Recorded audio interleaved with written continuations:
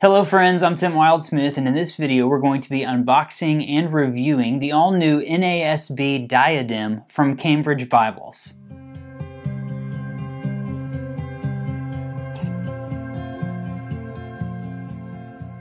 Okay, my copy of the new NASB diadem from Cambridge Bibles has just arrived. Inside this box is a beautiful, I've seen photos of what looks like a beautiful forest green calfskin edition of the NASB diadem. I can't wait to unbox it. But before we dive in, I want to remind you that Cambridge has released a couple of diadems. They've done the hardcover edition in ESV. This came out in, I think, late 2021. They released the ESV diadem with and without the Apocrypha in the hardcover edition. And then about a year ago, they released that same Bible in the premium calfskin edition. So they had edge-lined calfskin, I believe in red and black and maybe brown, and then they had a couple of calf split editions that had paste down liners. I was very impressed with this Bible when it came out. It's beautifully designed. I love the layout. Basically, this is an expanded, larger version of Cambridge's Pitt Minion, the little mini me Bible. I actually have one of those.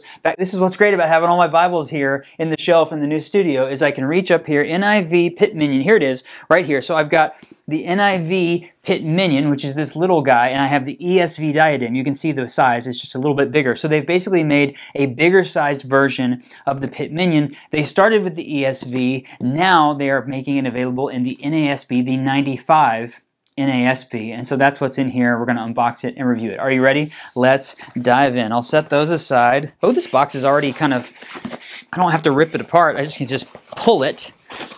Okay, slide it out there. Yes, it's the green edition. I was hoping that I was going to get the green edition. That's awesome. Take the box, throw it over there. Okay, NASB Diadem Reference Edition. It does have the little 95 logo down here on the bottom, so you can see that it's the 95 edition, and it says green calfskin leather edge lined. Let's see if this can just, oh, so it's wrapped in plastic. Whoopsie doodle. Whoopsie doodle. Okay, I'm so excited about this. I was, like I said, I was very impressed with the red edge-lined calfskin that they did on the the ESV diadem. I just think it's soft, it's floppy, it looks great. The, the quality of this Bible was over the top. So I'm glad they're uh, continuing to expand this line. So I'm going to go ahead and open this. Oh, I was honestly, oh, wow. Sometimes you just have to stop and smell the leather. You know what I'm saying? This Bible smells great. Cam, can you smell this? It smells so good. Okay, first of all, the, the, the main wow that I gave you when I first opened this was that I was expecting it to be a little bit brighter green, but this is a gorgeous, deep, dark green, almost with like a, a, some blues that are coming out of it. Can you see that? It's hard to see in my lights if I can't get it in there. This looks in the camera to me, it looks almost black, but this is a nice deep down, deep, deep green with like some blue hues to it. Oh wow, this is stunning. On the spine it says Holy Bible, New American Standard Version, and then Cambridge. It's got Holy Bible on the front in gold, a nice perimeter stitch. It's got these tooled ribs and little baby, baby, baby thin raised spine hubs on the spine there, which is really nice. This looks great. Red under gold, art gilding. It's very similar to the ESV edition. Now, I got the ESV with Apocrypha, and so this is considerably thinner. Look at that, compared to how thick the ESV is. I'll do some measurements here in a moment when I do the overhead, but it does not have the Apocrypha. So they made an edition of the, the ESV one without the Apocrypha, but I'm not sure. I think the red one had the Apocrypha in it. This is absolutely gorgeous. Now, it's got three, I can see in here, three green ribbons. Those are bright green. I like that. And the paper looks fantastic. That same great design that if you're familiar with the Pitt Minion or even the wide margin, the wide margin is going to be just the same style Bible, but here, let me give you a quick, quick sneak peek in there. So two column Bible, center column references. I feel like this is a very uh, classic design that just looks great easy to read and the size of this a nice mid-size bible is really great i want to check this out okay presentation pages again i'm getting ready to do an overhead and i'm going to show you all of this.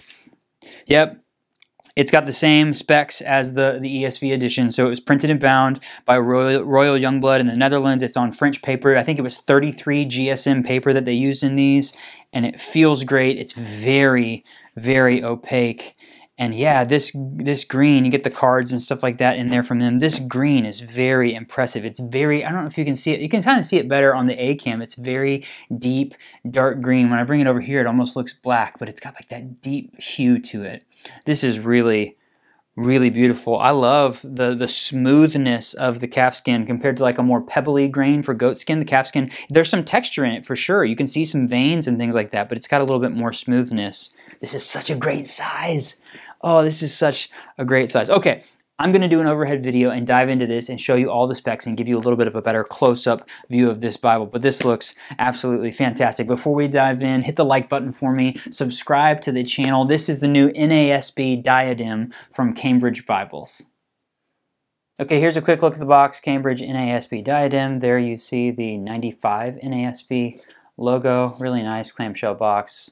All of the information on the back of there. There's the diadem the unfading crown logo. And there is the Bible itself. It's really bumming me out. I mean, you can see that it's green, but it looks way darker on the You know what I'm to do? I'm to take a photo of this in really nice natural light. I'm to insert it right now. Here is what the Bible actually looks like. Look at that beautiful green color. That's what this Bible looks like.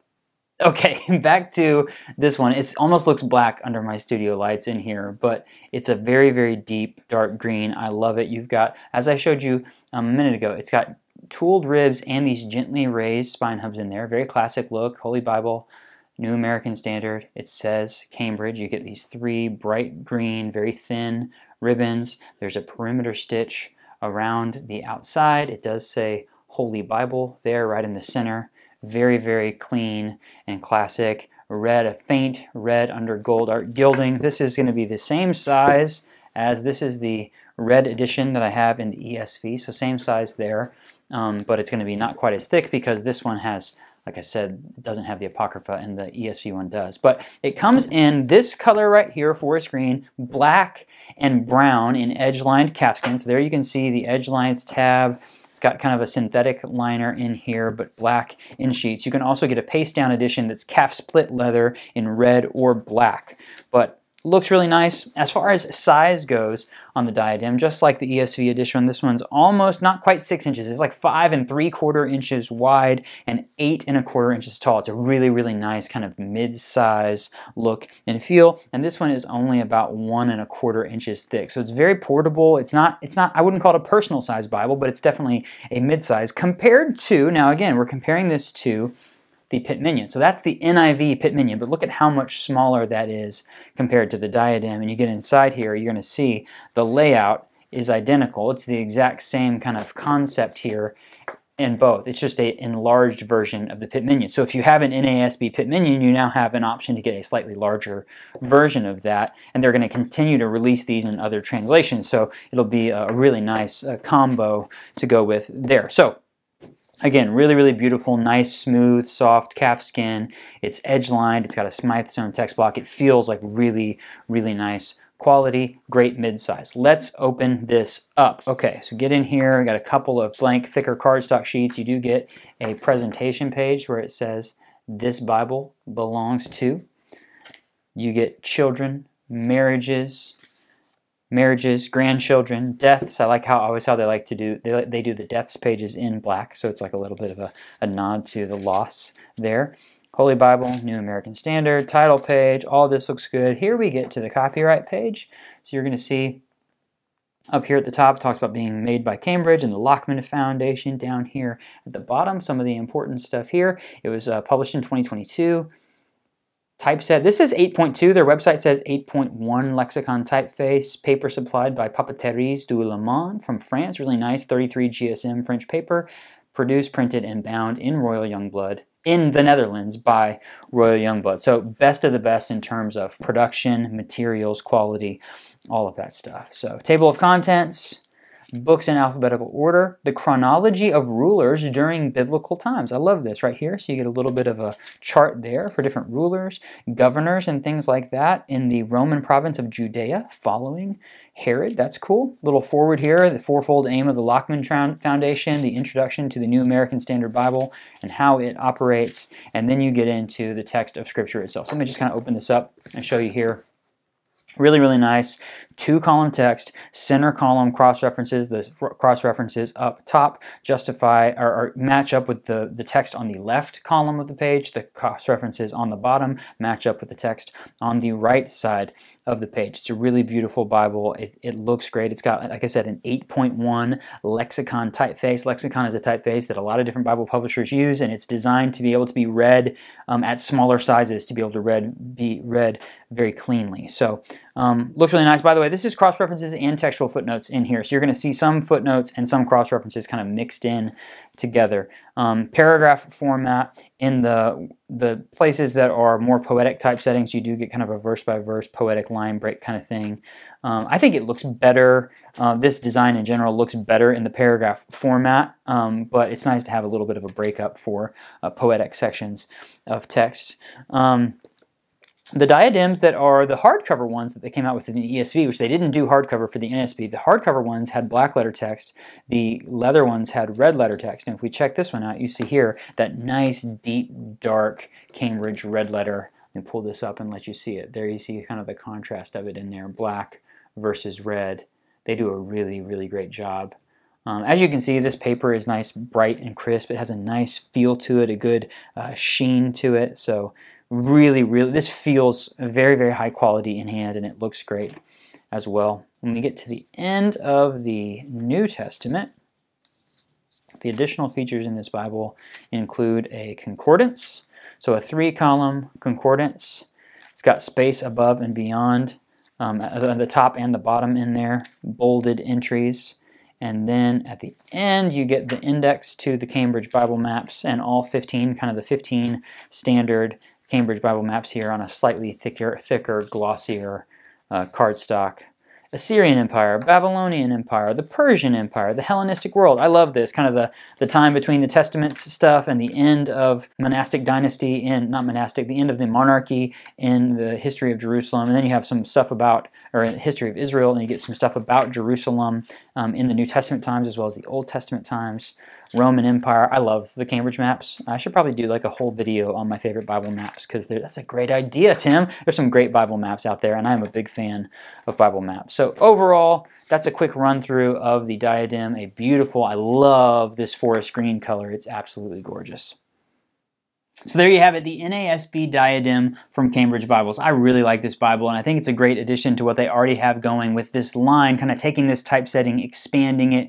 Um, really, really great. This comes in green, black, and brown in the edge-lined goat skin, and then you can get, I believe, either black and, and red or brown and red in the calf split leather. So I'll put some links in the video description to where you can find where you can purchase one of these, where you can find out a little bit more information directly from Cambridge.